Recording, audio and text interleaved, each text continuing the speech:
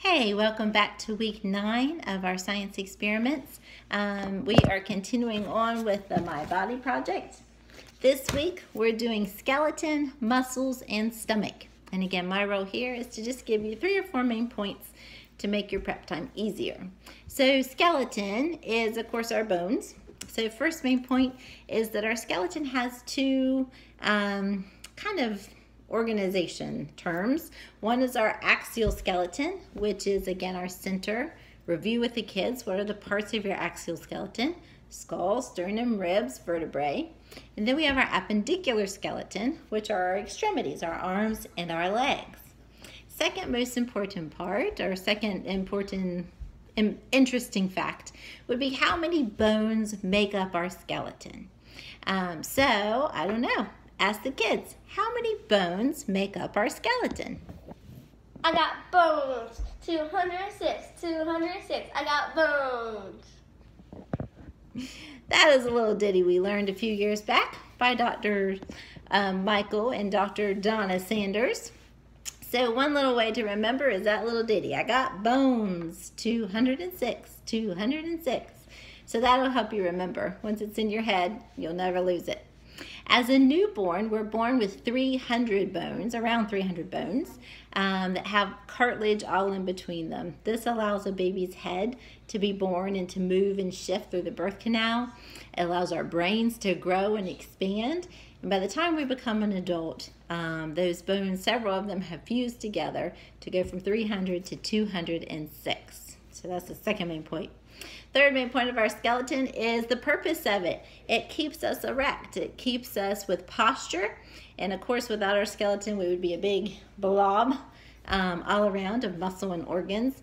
And so our skeleton protects our inner organs, gives us posture and shape, um, and is organized in those fashions we've talked about. And of course, how many do we have? 206. 206. Good. Second, um, so to, oh, also with the bones, you don't have to color them. They're already white. So you can just set those to the side or go ahead and cut them out if you want to. Second are muscles. Okay, so muscles, what are three kinds of muscles we've learned about? Skeletal, smooth, and cardiac. So skeletal muscles, the big point with skeletal muscles is that they're voluntary. Skeletal muscles are like what I'm using now when I talk. They're what we use when we move. I would have your kids turn to their neighbor and flex for each other. Flex and extend. What they see are skeletal muscles. Same thing, you can have them stand on their tippy toes. Can you see your calf muscles? And then squat down. Can they see their quad muscles? Those are all skeletal muscles. The muscles we're coloring for my body are the skeletal muscles. Then you have smooth muscle. Smooth muscle, as we've learned, is the covering, or we're learning today, is what the stomach is made out of. It's covered over the stomach.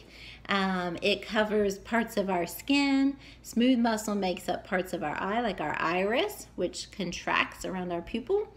Um, it is involved in our digestive system with our stomach and our intestines.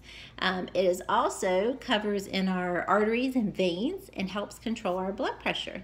So smooth muscle helps control all the involuntary functions throughout our body. So involuntary mean we don't think about them. We don't have to tell our stomach to digest. We don't have to tell our intestines to contract or our eyes, our irises to contract or expand. It's involuntary. God created the smooth muscle to work um, as the hormones, neurons, all of that command them to do so. Um, so we have skeletal, voluntary, smooth, involuntary. And our third type of muscle is, of course, our cardiac, which is our heart. Our heart is the only organ made up of cardiac muscle cells. They are a unique cell, all of themselves, um, and they are our hardest working muscle. Um, that cardiac muscle, it works 24 hours a day, seven days a week until the Lord calls us home. And that um, works constant. So God created the cardiac muscle to be a little unique and different that it could withstand so many years of constant work.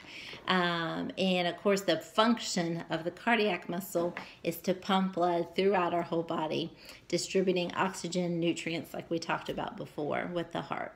So that was our muscle. And last today, so then they can color the muscles, lay them to the side, or go ahead and cut them if you want. And then the stomach. Again, the stomach we talked about is lined with smooth muscle. So a couple things about the stomach. Number one, covered in smooth muscle. The purpose of the stomach is to help digest. It's the major place of digestion of food.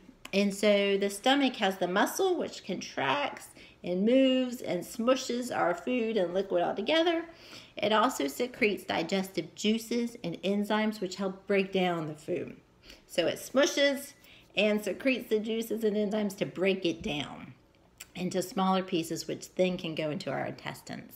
So that is the main purpose and role of the stomach. It's also a storage sac. So when our, our food goes from our mouth, esophagus, to our stomach, um, it sits there and then begins to do its digestion.